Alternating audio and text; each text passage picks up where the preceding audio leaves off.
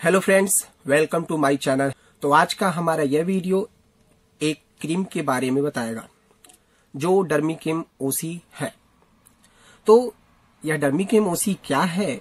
यह किस काम के लिए यूज़ होता है? और इसके क्या क्या फ़ायदे हैं?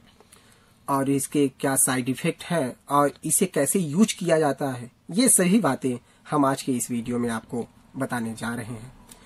तो आप देख ही रहे हैं इस वीडियो में टर्मिकेम ओसी हमारे स्किन में जो खुजली होती है ईचिंग होता है, उसी के कारण होता है।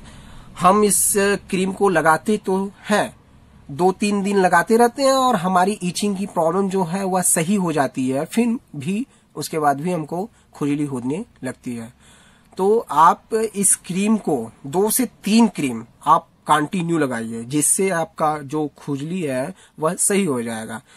ये देखिए इसमें ofloxacin ornidazole terbinafine hydrochloride with clobetasol propionate cream मिला हुआ है।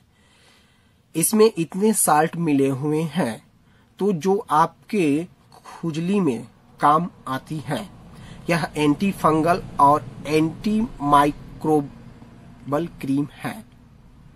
जो छोटे छोटे टाइनी वो कीटाणु होते हैं, उसके लिए यह काम करता है। जो खुजली में काम करता है, बहुत ही बेस्ट मेडिसिन है, एल्केम कंपनी की है। एल्केम कंपनी बहुत बड़ी कंपनी है। सुमो टैबलेट का आपने नाम सुना होगा, वह कम, वह टैबलेट एल्केम कंपनी की ही बनी होती है। बहुत ही बेस्ट मेडिसिन है, जैसा कि दोस्तों हम आपको इस वीडियो में सारी बातें बता चुके हैं। बस, धन्यवाद दोस्तों।